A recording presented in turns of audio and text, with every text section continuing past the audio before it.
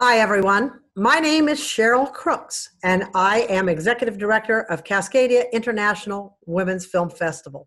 It's my pleasure to welcome you here today for a panel discussion with the filmmakers of our three Indigenous films in this year's festival. We're so proud to have these films in our festival this year. We have two documentary short films, one made by Jules Koostachin and one co directed by Elli Smith and Darrell Hillaire, and a narrative feature directed by Marie Clements. Moderating the panel today will be Elizabeth Weatherford, who was the founder and the director emeritus of the Smithsonian's Film and Video Center for the National Museum of the American Indian in New York. It's a wonderful discussion about the Indigenous filmmaking process, and I think you're going to enjoy it and, like myself, learn a lot. But before we get to the panel, I'd like to first thank the sponsors for this year's festival, including KCTS and Crosscut Magazine, the City of Bellingham, Whatcom County, the Mary Redmond Foundation, and Eileen and Steve Nelson. And all of our sponsors and donors, we want to thank you because without you, this film festival would not have been possible. So without further ado, let me introduce to you the panel and Elizabeth Weatherford, the moderator. Enjoy this discussion. Hi, everybody. I'm so pleased to be here with you in this very strange format because generally, as you all might know, seeing your own films in theaters, feeling the room is part of the experience. We can't actually sense each other so well. So let's have a good conversation and talk to some extent about your individual films, but also about collectively what you as women as Indigenous women, as Indigenous women filmmakers, think about the nature of telling stories, and to my consideration, how films can affect change in the world. How Indigenous films affect that is even more significant. So let's begin. Each of you might give a brief introduction of yourself and the film that you're going to be screening in the festival. And why don't we start with you, Elli, and perhaps then you can you can pass it on to your partner. Sure. Um, Hi, everyone. My name's Elli Smith, and I just have to start by saying that I myself am not Indigenous to this land, but um, I partnered with Darrell Hillaire, who is. Um, so, yeah, I'm just was really grateful to um, be able to help share the story in um, Women of Journeys. So, yeah, just had to start with that. Um, just grateful to be here with everyone and to to share this time. All right, Darrell, how about the story line of Women of Journeys? How did you get involved with making that film? Uh, first off, uh, uh, Children of the Setting Sun Productions, well, we've been in business for like four years. But Children of the Setting Sun's been around for over 100 years. It was started by my great grandfather as a song and dance group who went out into the world and told stories right around when uh, native spirituality was outlawed. He put on his paint and he put on his paddle shirt, picked up his drum and gathered his family and he went around the Pacific Northwest to let the people know who we are and where we come from. And so from that point forward, it, uh, he, uh, he passed that on to his, his kids and the grandkids, and I'm a great grandchild. And um, we've all were left with instructions to keep his fires burning. So we do that. Today's medium is doing that with, uh, with film or with books or with stage productions. And Elli and I and our team, we uh, took it upon ourselves to document uh, Canoe Journey this year. And once, once it was over, we uh, had to decide how we were going to tell the story of Canoe Journey. And it became very obvious during that time that it was going to be about the women and the murdered and missing Indigenous women was was uh, the story that came through loud and clear all the whole week that we were there. Um, there are many spirits that gather there at Canoe Journey. There's a lot of healing spirit. There's a lot of spirit in uh, the old way. There's a lot of spirit of reconnection. But this one was the one that stood out. So we uh, we had that story come to us. Thank you obviously the connection to ceremony and the place it has in, in native tradition, but also in indigenous resiliency. is something that comes up in all the films. But Jules, I'd like you to talk about that a bit because your film is so strongly around that topic. Tell us about your film and how you came to make it. Okay. Um, Wache Jules and Tisini Kasun, Attawapiskat Nito Tim, uh, Nito So I'm Barrett Clan. I'm from Attawapiskat First Nation in Northern Ontario. And um, my film is Oshkikishikaw, which translates to a new day. And essentially, it's the second part of my first CBC doc, which is Niso Tewak, about the twins who are exploring their Cree identity as twins. and then this is their coming of age ceremony where they cut their hair for the first time. So we were um, heading back to our home community to do the ceremony there, and I was talking to Leslie at CBC, and she's like, hmm, that sounds like a good idea for a film. so then we got the crew together and we shot the ceremony. Um, so it was, it was really interesting. It was hard because at first you feel a bit vulnerable, right? Putting your personal stuff out there for the world. So, um, but we made sure that we followed product protocol. Um, when the when the kids were having their first sweat, like obviously we didn't go into the sweat with the cameras or anything. Like we just were really cautious about um, going about, about the actual ceremony itself. Yeah. Thank you. And the connection between several of the films is going to be talked about in our conversation. Marie, however, tell us a little bit about Red Snow and how you came to make this very impressive narrative film with a storyline that is particular to our current moment and also has great hearkening to the themes of ethnocentrism and violence that have been part of each of the stories, both documentaries and narrative. Tell us a little bit about Red Snow and how you came to write it and direct it. Uh, hi, uh, my name is Marie Clements, and uh, I have a company called MCM, and it's really great to see everybody. Um, great to see you, Darrell and Jules. I wasn't, I don't know what I what I was expecting, but Zooms are so you know interesting that way. So what a great surprise. Um, I'm from the West Coast uh, and uh, have uh, lots of family in the Northwest Territories. Uh, and really, I was Red Snow came. Uh, I was looking at a photo uh, journalism, a bunch of pictures taken back in 2009 around the war in Afghanistan, and just felt that in certain angles, the indigenous people there looked similar to our indigenous people from the Americas and uh, was wondering what kind of dialogue these two peoples that uh, came from ancient cultures and had survived so many wars, uh, what that dialogue might be. So Red Snow starts in the Arctic um, with a Dene soldier who ends up in Afghanistan and taken hostage by the Taliban. And he uses his family, memories of his family and his identity to survive uh, and to escape with a, a new family, a new, a new idea of family. Thank you.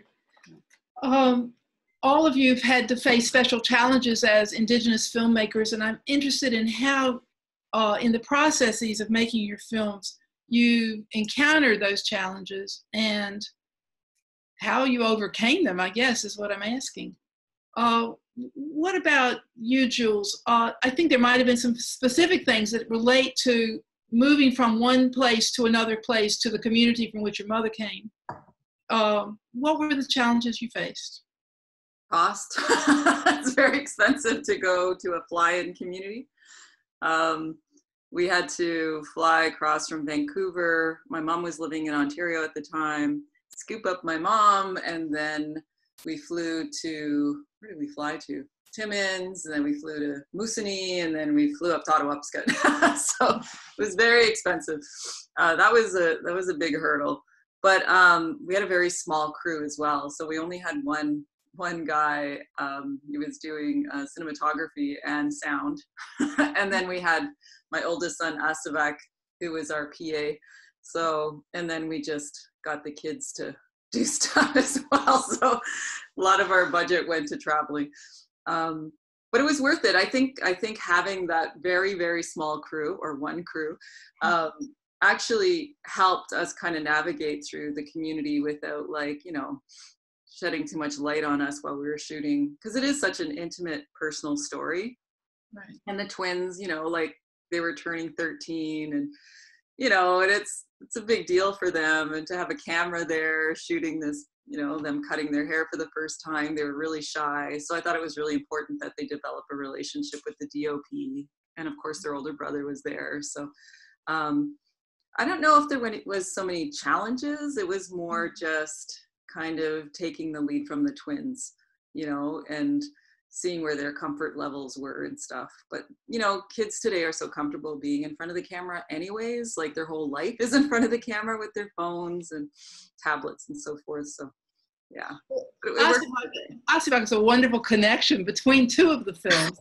yeah. talk a little bit with Marie and with you too, I guess. Marie first. Mm-hmm. How did you find Asivak in order to cast him in your film in the instrumental role of the young Gwich'in man who becomes the who is a Canadian soldier in Afghanistan. Well, we did a pretty extensive casting, you know, um, from Vancouver to Edmonton to Toronto, New York, LA, um, to uh, Yellowknife, uh, and a lot of small communities. But uh, I had known um, of Asivak through theater, and um, and then I just asked him to come in. So I was pretty uh, excited to meet him. And he has such a, an amazing quality as an actor. Um, you know, he's obviously very beautiful. He's a beautiful son, Jules. Um, but he also has such a deep quality, a, a sense of self, and a, um, he carries himself um, really well in the world. And that's really what I wanted uh, for other people to be inspired by, for other, you know, young men to look at this other young man and see kind of the strength and resilience. And uh, and he has um, I don't know. I just I wanted someone that had a deep quality to it because it's easy to go, oh, he's a soldier. Let's just do this, you know, soldier thing. But um, as uh, representing, you know, Indigenous men as a soldier, I felt it. Uh, it's important to find um, the quality that resonates uh, on deeper levels. I think another thing that happens in your film, Marie, is a real reflection on cultural considerations of women. And most of these films, most of the three films, deal very strongly with how community settings and knowledge of one's traditions can sustain you. But you can also have the problematic there of a young woman wanting education who has to hide.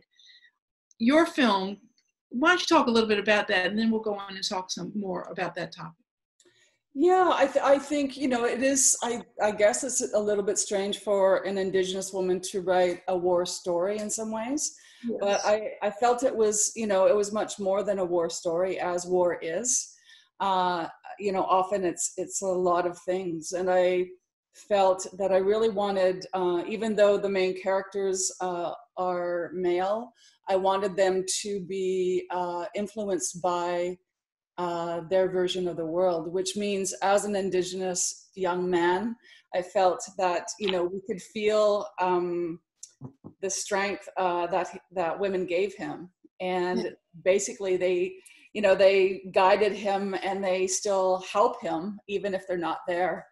And I felt, you know, having having that really strong presence of his first love, having the presence of his grandmother, played by Tantoo Cardinal, and also meeting this other, you know, young woman um, whose culture, you know, whose uh, political world uh, had worked to try to suppress her, uh, you know, as a woman in the world. It was great to feel that connection because we could see that he could see her in yeah. this very strong way. And I think those kind of layers were um, exciting to uh, you know investigate and also pull through the narrative. In Women of Journeys, the theme that you selected to pull to our attention as audience was the theme of missing and disappeared Indigenous women. And perhaps you can talk a little bit about shaping the shaping of the purpose of all your documentation towards that particular uh, concern. Uh, uh, Elli edited the film, and we, we gave some directions around that, uh, shaping it around things that were culturally appropriate yes. and uh, things that um, you know the people in the panel were saying. You know, so those are just kind of like the two guiding principles. Even though Elli's not from Lummi, she's been around Lummi a long time, so understanding the cultural protocols is pretty important, you know, in our community. So we took care of the people you know, we fed the people. We uh, took care of the elders, you know, those kinds of things. Um, so in that way, the challenges become, um, uh, they're, lessened quite a bit if you know how to fit, your, fit within the community. So I'll let Allie speak to the part of editing it and how that came together in her mind when she had those kind of guiding principles. Um, yeah, I think Darrell said it before that the story really came from the people, and he said the you know the Lummi Nation really um, they brought out the theme of honoring the missing and murdered Indigenous women. So we were really just there as witnesses, and then yeah, we sort of created this story um,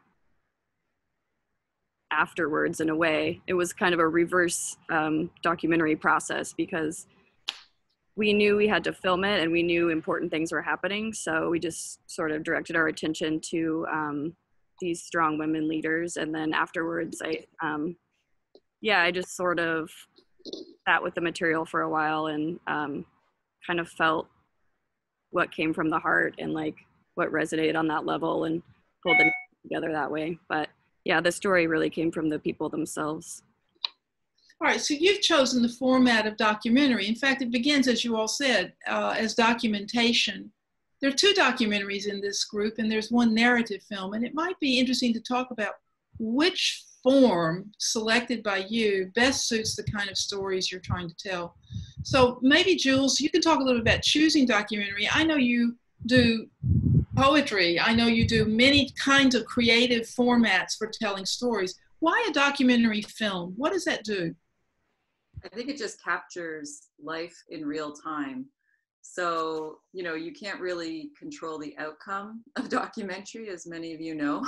and so you have you're you're kind of there filming and all these magical things kind of transpire in front of you and when you have the camera rolling you're like yes. So for me it's that kind of element of surprise when you're documenting something unfold because life is like that. We never know. We have something in our head. This is how it's going to play out. And then when you get there and start filming you know your story goes in a whole other direction. So i think for me there's magic in that that we're capturing you know these beautiful moments in life. So um, we had so many moments. We had such a great cinematographer who was just like had the camera rolling the whole time, and we had so many great moments, you know. So for me, even though they half of them didn't make the film, at least I have them documented. And in a way, I see documentary too, Indigenous documentary as an archive, you know, for future generations to look back upon, right? So I think it's such a powerful platform, and um, in a way it sustains our cultural ways. In a way also it captures us trying to weave some of those lost pieces together you know? So for me that worked for um, Oshkikishikaw, you know obviously as a documentary because you know we are documenting this event that was about to happen so. and, and you absolutely choose a different path with your film which is that of creating the characters creating the narrative even creating it yourself. So what is the how does narrative film fit into a picture that you carry? What is the best way to tell a story? That's a good one. Okay. Well I, I, think that you know I, I think we probably all understand that at a certain time the story chooses you. And uh, and usually it, it tells you you know how it wants to be told. And i think there's so many great storytellers in our communities. And i, I believe that cinema is is one of the you know ways that stories are being told. And i and i love that it has access to a larger community and that you know our filmmakers are taking that space and mm-hmm. the craft that they've you know uh, they've not only most filmmakers i know that are indigenous are also other things.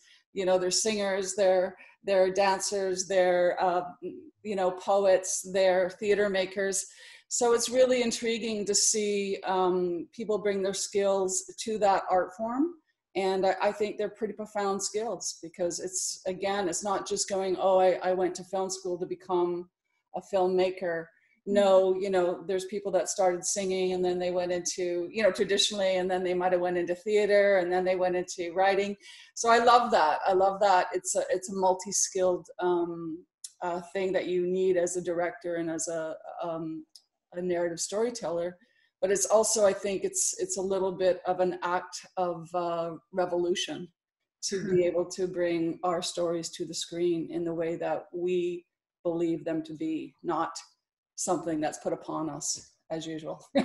something. I also, I also saw in Red Snow something that's related to what you described as the background for a filmmaker who's indigenous, which is your film has so many layers of of contexting where you are. And I think in each of the three films, the place, the the the, the necessity of place, the, the significance, the intrinsic significance of place is so well portrayed. Marie's film is in a different place from where her character came but she switches back there and creates his place so beautifully at the same time through the musical score creates the sense of the overlay of aboriginal canada with afghanistan and pashtun culture it's really it's very interesting and i think all of you have in your films seen your native place as an important thing to convey out to audiences who see your films as well as something that Jules just referenced, which is archiving that sensibility and that significance of place through the very act of documenting itself. So uh, I'd like to ask you a question about being filmmakers. And that is who taught you to be a filmmaker? Who was, what, who's the important, I would say, indigenous influence that helped you become the filmmaker you've become? Where is that? transition or transmission taking place for you? Um, I, I think I came, I, you know, I started as an actor and I started young as an actor. So I think that the, the world of imagination, the world of possibility um, is just kind of intrinsic for a storyteller. So what better world than cinema? So I was just really lucky growing up that I uh, mentored under a lot of um, uh, older actresses and and uh, uh, you know really uh, eccentric and, and amazing uh, coaches and that kind of motivated me to uh, want to be better. I don't I, i'm not going to say one but i tell you you know people like Margo Kane people like Tantoo Cardinal um, Dede Rutherford, which was my first uh, drama teacher, um, Peter Hinton. I mean, there's a whole list of people that lent uh, their ears and their, their hearts to me uh, so that I could uh, create um, a body of work through theater. That really was, you know, it was a profound training ground for me because theater is really hard and it's really hard to get produced in this country still. Um, but it, it trained me really well um, to survive with as much grace as I could. How about you, Jules? Who who do you consider your teacher in becoming a filmmaker? Um, I don't know. That's a good question. I think you know, as a child, I had a hearing impairment for a lot of years as a young person, and so I was living in my imagination for a long time. so, and then also I was raised by my grandparents up in Northern Ontario who did not speak English. So I was around storytellers all the time so it was very natural. And like marie too i started in theater as an actor. Mm-hmm. um, mm. but you know i think we're so fluid as storytellers. You know we just find what works. And i think part of the spiritual part of being a storyteller is kind of also letting the story take the lead because it carries agency right? And it tells you how it wants to be told.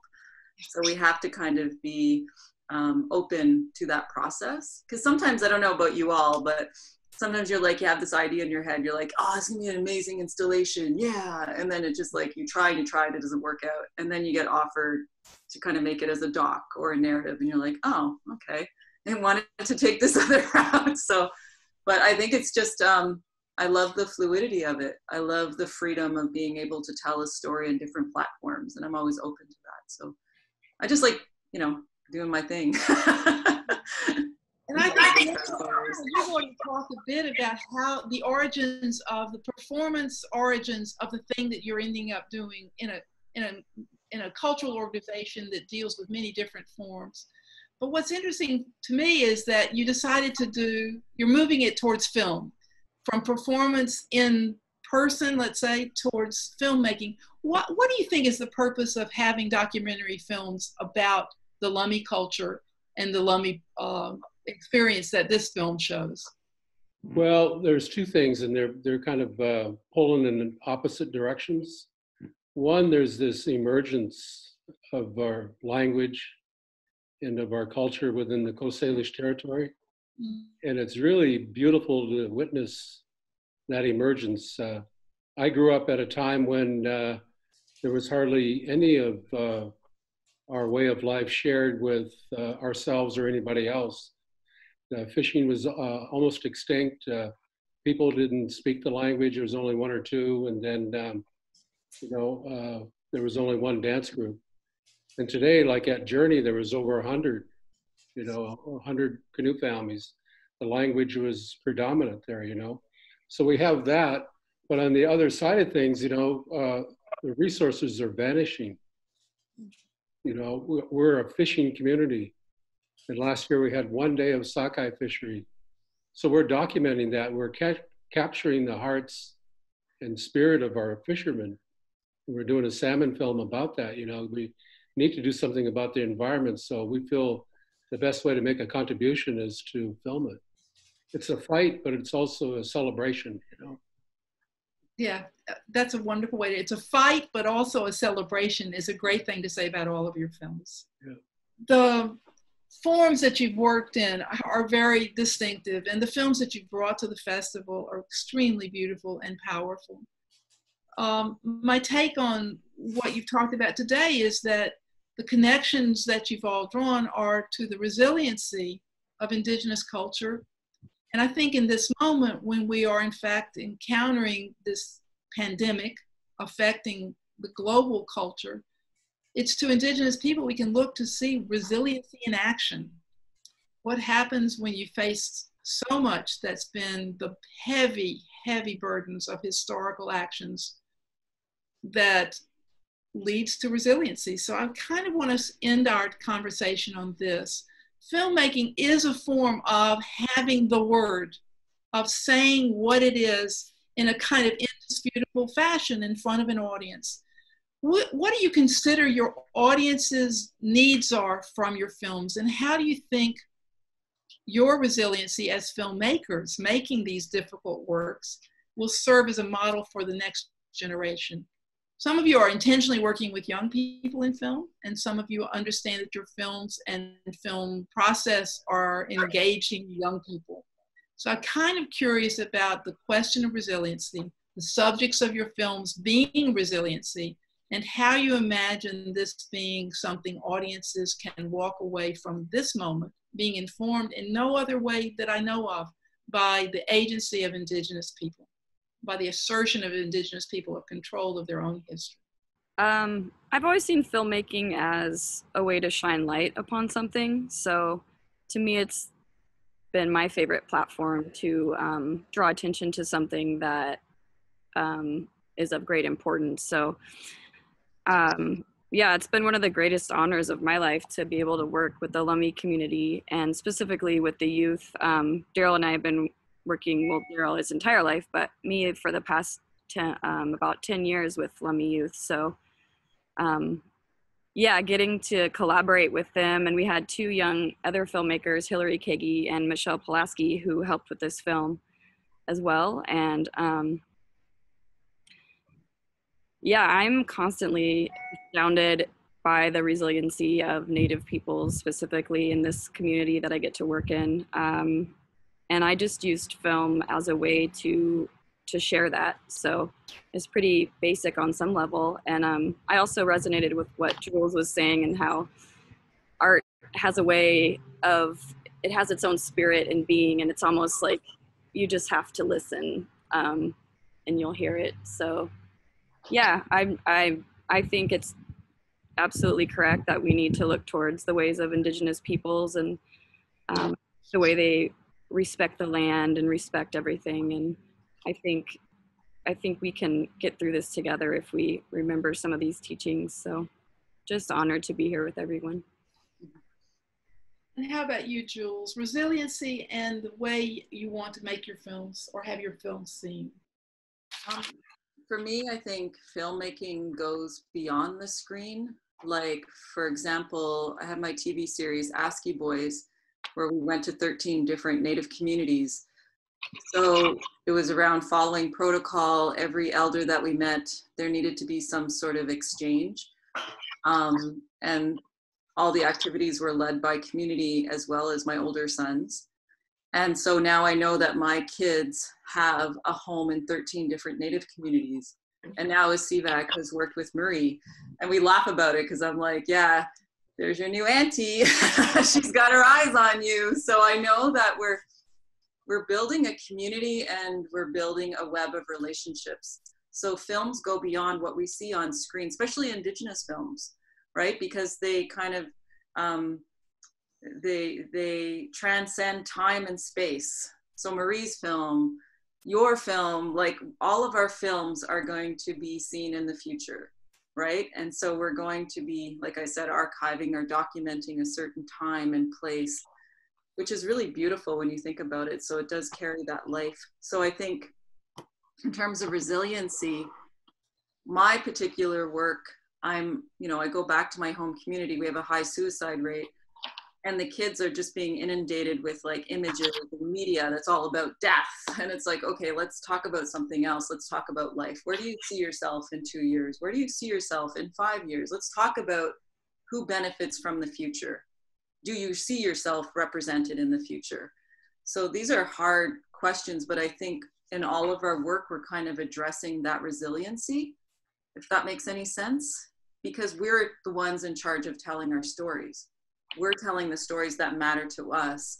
And we know the gaps in storytelling in our communities and what our community actually needs. So i think we're addressing that subconsciously maybe through our stories but there's a lot of hope in our stories too. So which is very different than a lot of the stuff that we've seen about us.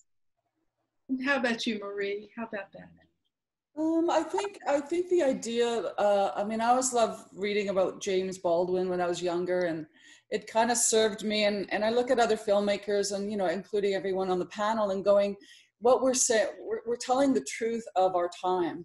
So we're bearing witness to uh, not only our past, but what's happening right now. And that's that's ending up um, in films, and I I love that it has that kind of energy. Um, and I think it is resilient because indigenous peoples are resilient by nature. That's just kind of ingrained in who we are and who our ancestors are. Um, and i feel you know for cinema really i think what we're trying to do is appeal to people's heart you know to make people feel something really is the sure way that they can open themselves up and change can happen. And I think um, storytelling in that way um, helps us become bigger people uh, and more the same and less different from each other. So, in conclusion, let's start with Darrell and then go around to everybody else. Darrell, in conclusion. I'd just like to thank everybody for their good words. Uh, the uh, thing that jumped out to me was what Marie was saying about truth. You know, uh, your uh, your job as a moderator is to kind of walk us towards that in a lot of different ways, you know. And uh, when we talk about protocols, we talk about um, um, uh, inviting ourselves in to document uh, what's what's taken place. A big a big part of that is a responsibility.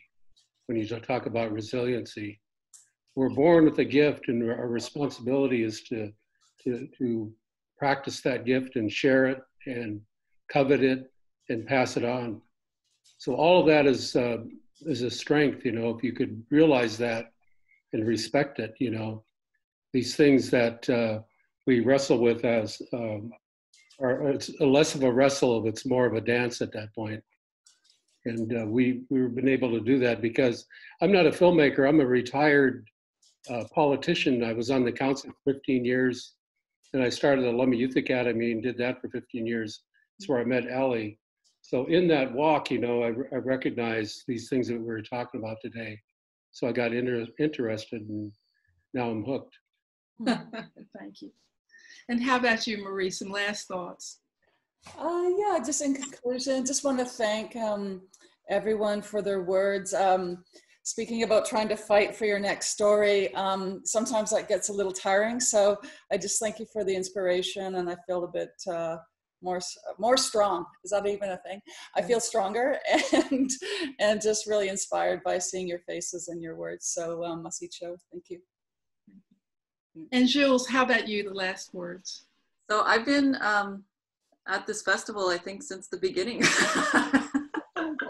I have another film for next year about menopause. Um, no, I'm really thankful. I love this film festival and um, so close to home, and I love everybody there. It's just always such a great experience. So thank you for um, inviting me to be part of this panel. And hi, everyone. it's nice to see Hi. your faces. Chimigwech. And for me, it was such a pleasure spending some time with all of you, both through the films that I got to watch a few times and also to spend in this conversation. You're really quite wonderful, talented people, and your giving to your communities and to the rest of us who are audience is very deep and profound. Thank you. Thank you very much.